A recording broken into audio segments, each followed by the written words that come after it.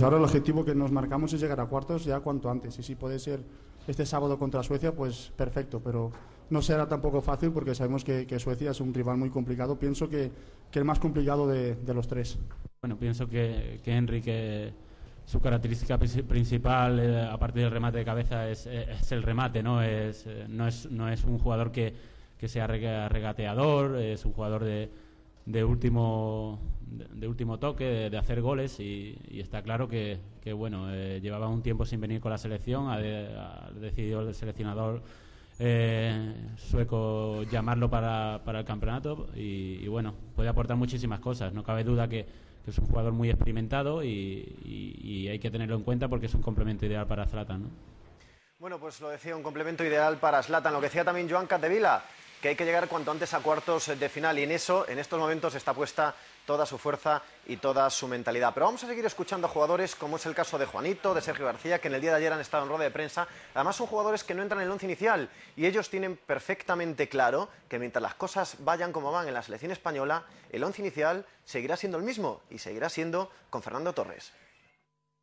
Creo que, es lógico que, cuando un equipo, pues bueno, ahora mismo está funcionando, eh, hemos conseguido un, buen resultado ante Rusia eh, y todavía no, no, tenemos asegurada la clasificación, pienso que, el seleccionador pues lo que intentará es poner a, a los hombres que, él considere que, bueno que, deben jugar o que están en mejor momento. Eh, es normal que, se pueda repetir 11 o, o prácticamente si no es el mismo pues pues casi, ¿no? Entonces creo que que es normal y los demás, los demás jugadores pues tenemos que estar a la expectativa pues, y estar también muy preparados porque cuando te llega la, la oportunidad lo importante es que es saber aprovecharla, ¿no?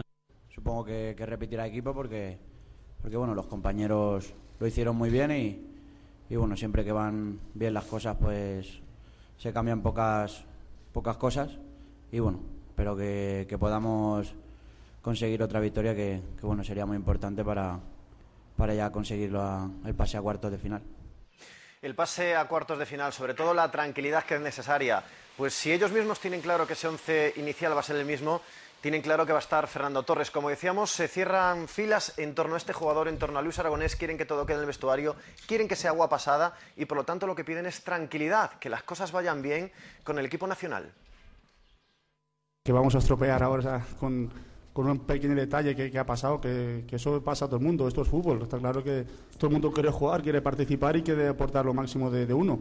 Ahora ya eso es agua pasada y lo que queremos es que llegue el próximo partido y no pensar si uno se enfada o no se enfada por un cambio. Esto es, es una cosa que no puedes parar a pensar, pero, pero, bueno, esto ya pasó, hay que mirar ya para adelante, dejar de, de mirar lo, malo o, lo que pueda ser malo, sino hay que mirar siempre en plano positivo y un optimista. Esos son pequeños detalles que, que puede pasar a cualquiera, pero es olvidarlo cuanto antes y, nada. Bueno, como dice el mister, si lo quiere tener, que lo tenga consigo mismo un poco y, que no haga el, gesto de cara, de cara a todos, ¿no? Pienso que, que es un pequeño detalle, pero, pero que seguro que, que, bueno, que no va a volver a ocurrir porque, bueno, Fernando es un, jugador muy importante para nosotros. Que bueno, que se ve que todos estamos muy unidos, no, no importa quién, quién juegue y, y quién no juegue, lo importante es que que el vestuario esté bien, que, esto, que todos estemos unidos y, y bueno, así siempre van mucho mejor las cosas.